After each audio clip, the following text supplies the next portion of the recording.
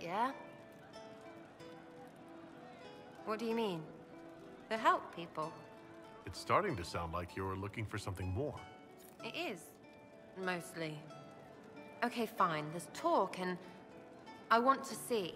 See what? I don't know. I just... I've got all this chantry stuff in my head, and it makes sense, right? But it's... fuzzy. I want to see if it's all really real. I just don't know if I want to really know. So I'm selfish. It's all for me. Count yourself lucky, I guess. Again, with your people.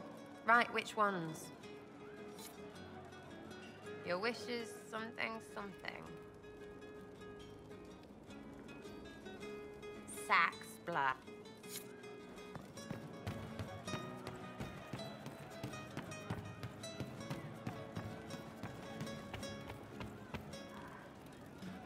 He hates it all because of the darkness behind the door. Some...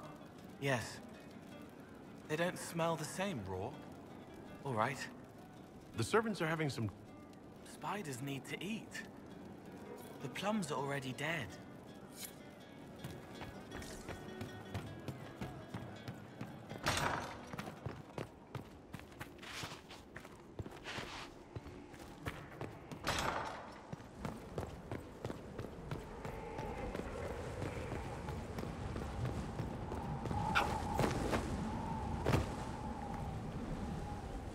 I can't stand this.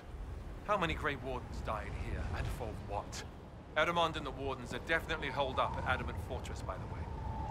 Don't know if Hawke told you. Was the hero Ferelden involved in all this? I'm not sure. After we defeated the Archdemon, he was made Warden Commander of Ferelden. He disappeared some time ago. Not long before I started investigating rumors of Corypheus.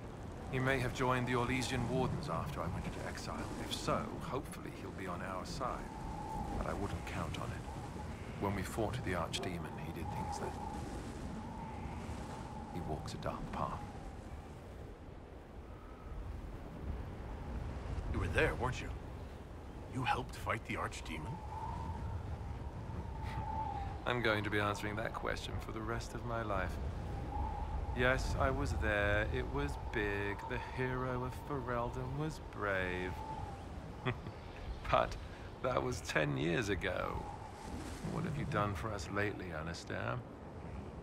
New times. New problems. What's it like, being?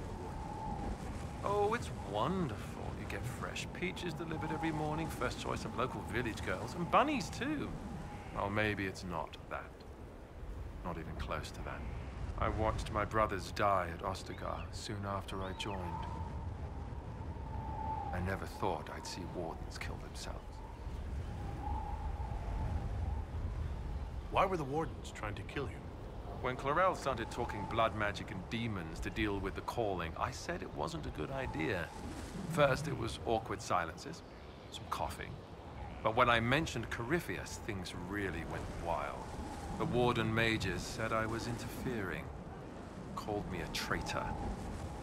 Funny how often that happens to me. How could the wardens willingly sacrifice their own to summon demons? I know it sounds nutty. Being a warden makes us special. But it comes with a heavy price. You have to walk away from your old life and be prepared to do anything to stop the next blight. And we are the only ones who can.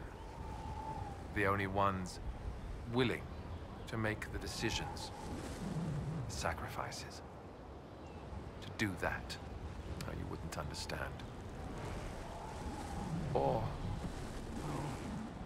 with that mark on your hand, maybe you would. Corypheus was held in a warden prison, right? So the wardens should know all about him. You'd think the wardens would share information with each other, but they're really big on keeping secrets. Maybe they think some knowledge is too dangerous, I don't know. I only found out about Corypheus after I started digging for information. Even then, it wasn't much.